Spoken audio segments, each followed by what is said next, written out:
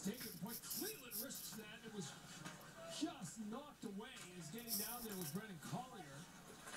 New Hampshire in the offensive zone here.